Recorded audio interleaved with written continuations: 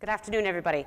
I want to talk to you this afternoon about autism spectrum difference. And I'm going to use the term difference because I believe it showcases the neurodiverse society that we have today, not the word disorder. So, what is ASD? ASD is a neurological it's neurological in origin and is typically seen in children before the age of three. It is described as a dyad of impairments where individuals present with challenges in the areas of social communication and social interaction, as well as restrictive and repetitive behaviour.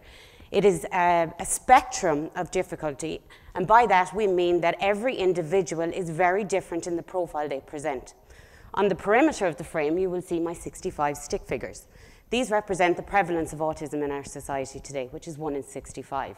You will also see the ratio of 4 to 1, which is the prevalence of boys to girls. Now, this has seen seismic change in the last 20 years. In the, year, in the early 1990s, the prevalence of autism was 1 in 10,000. So, what has this meant for our schools? This has meant huge changes in our inclusive practice and how we do business on the ground. It has meant a change in our pedagogical approaches and on our curricula, on the circulars that are guiding how we teach in our schools. It has generated huge societal discourse. However, this is not always positive. On the screen, you will see snapshots from um, newspaper articles. I'm sorry, the Limerick Leader is not in it. Um, since this is just since January, and there's a common theme coming through, and the theme is criticism of our teachers. In spite of all the changes, we are not meeting the challenges of children with autism in our mainstream classrooms. This is where my research comes in.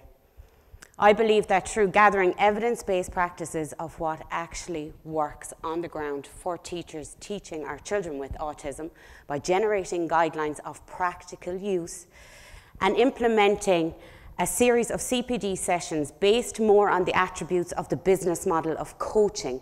I, as a practitioner of 14 years working with children with autism, can support teachers on the ground on a very individualised basis. Because when you have met one child with autism, you've met one child with autism. And it's the same for the teachers we teach.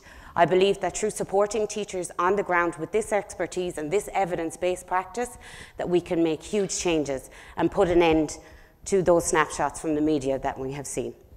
Garv Mila